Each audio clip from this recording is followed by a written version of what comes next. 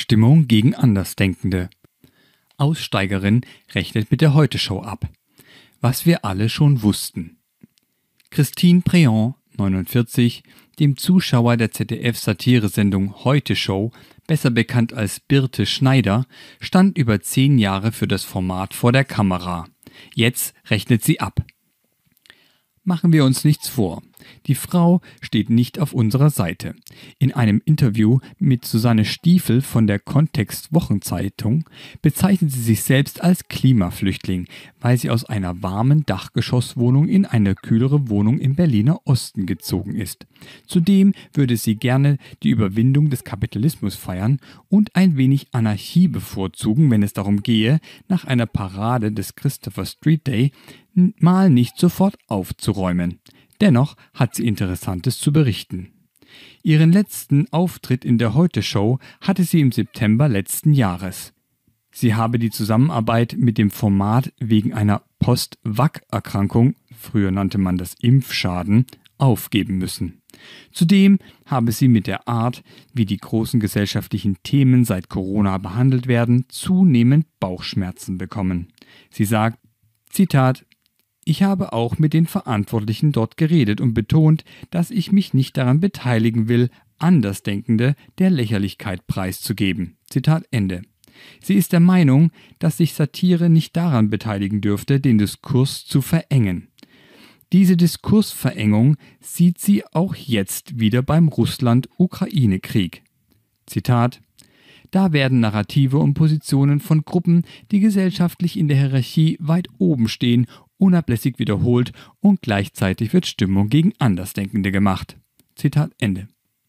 Gleichzeitig sieht sie aber auch, gerade beim links-rot-grünen Rundfunk, dass man das Fass der Kapitalismuskritik besser nicht aufmachen sollte. Wovor hat sie denn Angst? Damit rennt man doch offene Türen bei ihren Kolleginnen und Vorgesetzten ein. Weiter gibt sie zu Wort, dass sie auch keine Freundin mehr der Anstalt und Böhmermann sei. Denn auch Böhmermann habe die gängigen Narrative verstärkt.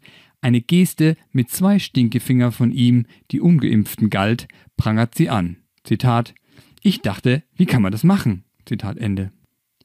In der Corona-Krise sei alles eskaliert. Sie hatte selbst Fragen zu den Impfstoffen.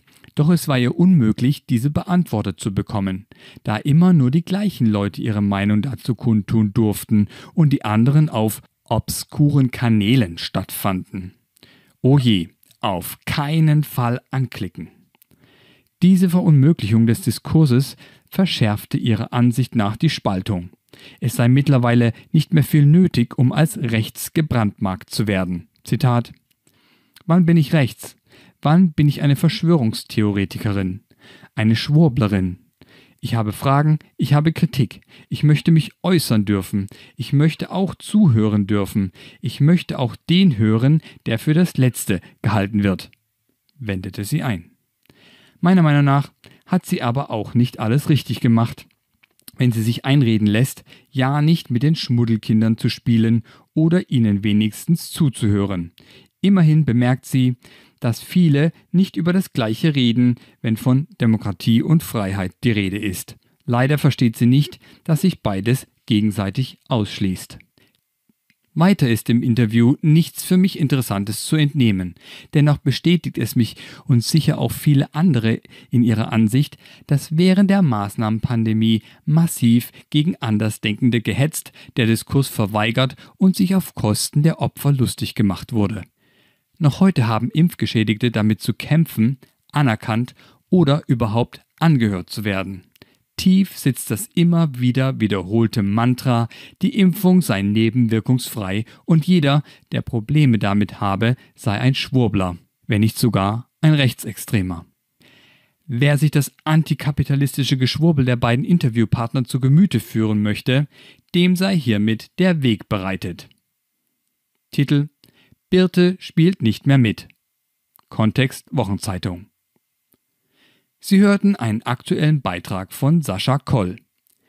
Dieser Beitrag erschien mit freundlicher Genehmigung von Freiheitsfunken.info, die libertäre Glücksspiele aus der Schweiz. Besuchen Sie die Freiheitsfunken im Netz und abonnieren Sie den Telegram-Kanal. Die Links finden Sie in der Videobeschreibung unter diesem Beitrag. Am Mikrofon verabschiedet sich Robert Paul